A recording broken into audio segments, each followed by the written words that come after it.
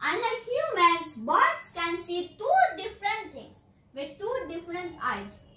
Birds एक बार में अपने दोनों आँखों से दो चीज़ देख सकते हैं। एक बार में एक बर्ड एक दो चीज़ को अपने दोनों आँखों से एक बार में देख सकते हैं। लेकिन हम लोग हम लोग एक बार में बस एक ही चीज़ देख सकते हैं। एक बार में हम लोग यहाँ पर मतलब कि दो चीज़ है।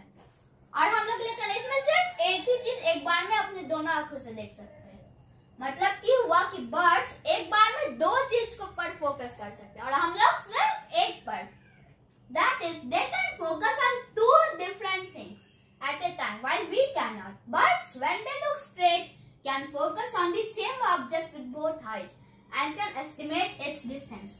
Birds जब सीधा देखते हैं तब वो दो चीज़ पर फोकस कर सकते हैं और एस्टिमेट कर सकते कि वो कितना दूर पर है।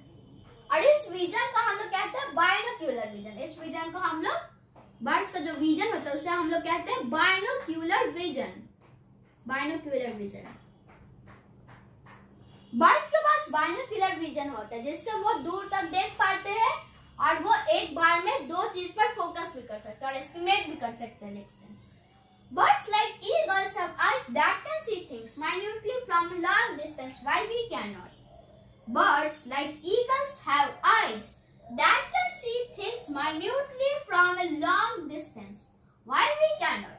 Eagles जैसे यानी कि बाघ जैसे पक्षी दूर से भी बहुत दूर से भी चीज़ें देख सकते हैं एक लॉन्ग डिस्टेंस से भी देख सकते हैं लेकिन हम लोग नहीं देख सकते हैं Nocturnal animals. Animal is an animal that is awake or active during night. एक nocturnal animal वो animal होता है जो कि रात में जगता है या फिर रात में एक्टिव होता है जैसे कि bats, जैसे कि bats हो गए और owls. Example bats और owls.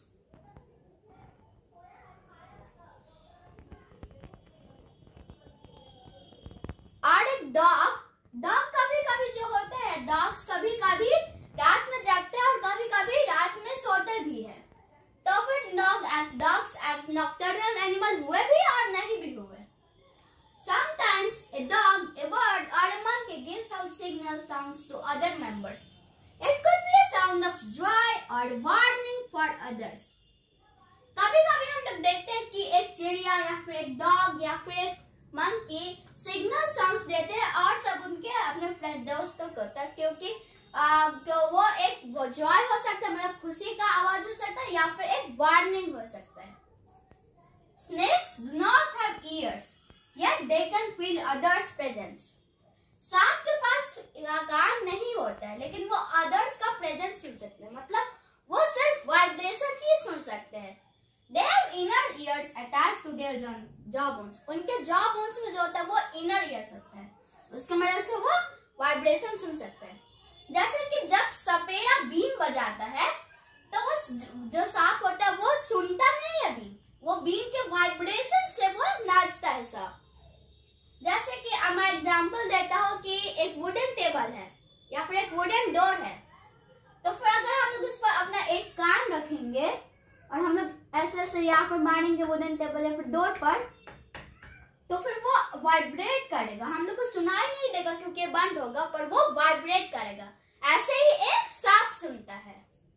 So starting more about super senses of animals in next video please subscribe my channel and thank you so much for watching